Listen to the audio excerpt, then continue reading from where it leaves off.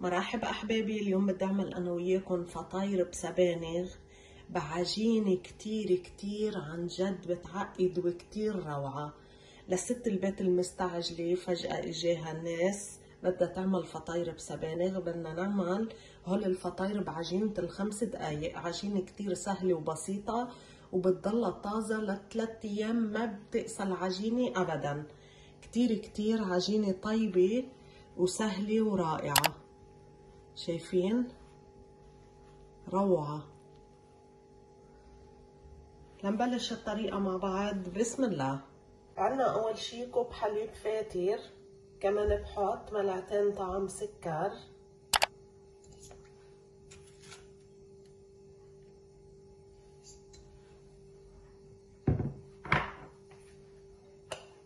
ملعقة طعم خميرة.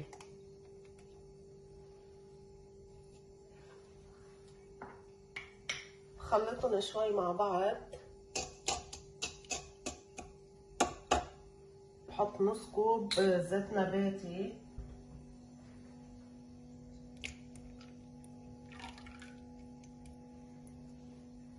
ملعقة صغيرة ملح. ثلاث أكواب ونص طحين. كوب. اثنين. ثلاثة ونص. حطينا ثلاث أكواب ونص طحين. بعجنهم مع بعض.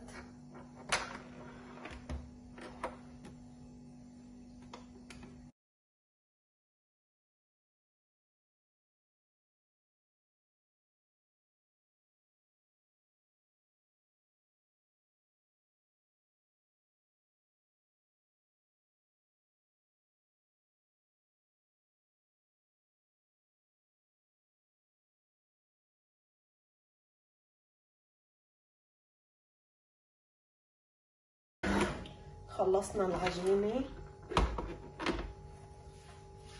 نشيلها نحطها بالجاط.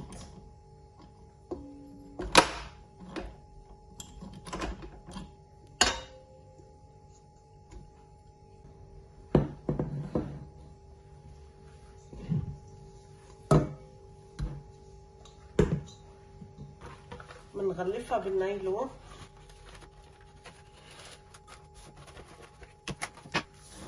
بحطها بمكان دافي وبتركها ترتاح خمس دقايق. بعد ما حطينا العجينة لترتاح هلأ بدي أفرم أنا وياكم سبانغ. معنا نص كيلو عنا نص كيلو سبانغ. كمان حبة بندورة ثلاث بصلات بهيدا الحجم.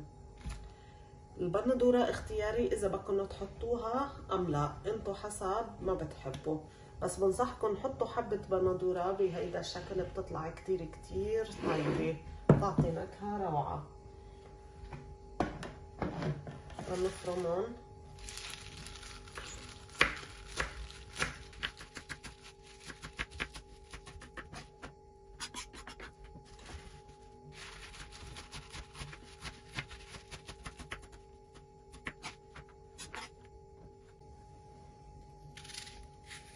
هلا بقص البصل.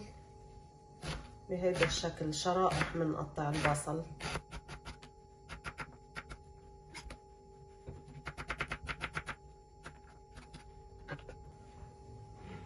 بعد عنا البندورة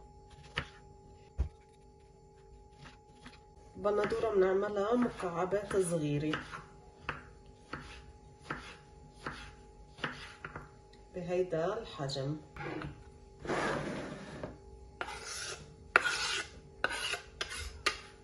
بنحط الخلطة. عندي عصير حامضتين صغار. نص ملعقة صغيرة فلفل أسود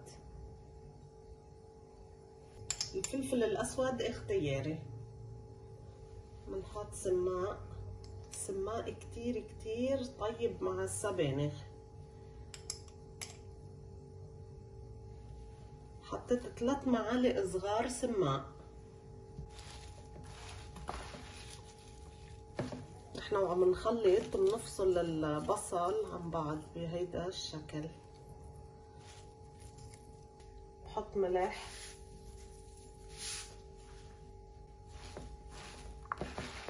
هلا بنخلط منيح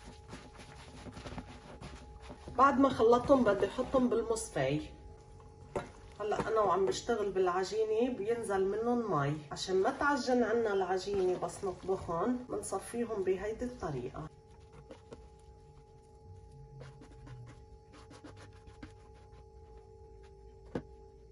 بحطهم على جنب لنبلش بالعجينة. هيدي العجينة بعد ما ريحناها هلا بشيل النايلو عنا. بدنا نبلش بالتشكيل.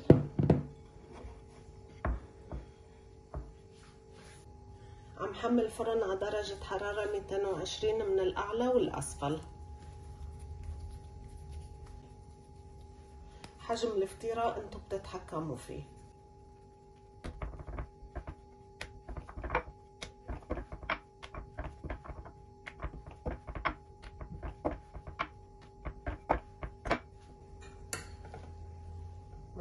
بنحط حشوة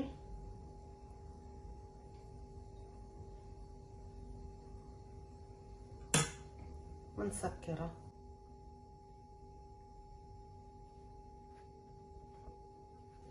نضغط منيح على العجينة عشان ما تفتح عنا. طلعنا الهواء من الفطيرة. برجع بكفي التسكير. بحطها على ورقة الزبدة. بعد ما حطيتهم على ورقة الزبدة هلأ بدخلهم على فرن حامي درجة حرارة 220 من الأعلى والأسفل. هول الفطاير اللي عملتهم أنا وياكم كل صينية بتاخد معنا سبع دقايق بالفرن أكيد حسب كل فرن. ولاحظتوا شغلة معنا؟ هون عندي هيدي الفطيرة مثلا فتحت شوي من هون بقيت محافظة على شكلها. شايفين بقي شكلها كتير مرتب. شفتوا شكلها كتير رائع. بتمنى الطريقة تكون نالت إعجابكم وتعملوا like و share للفيديو. والمشاهدين الجدد يشتركوا بصفحتي وإن شاء الله بشوفكم بالفيديوهات الجاي bye bye حبايبي.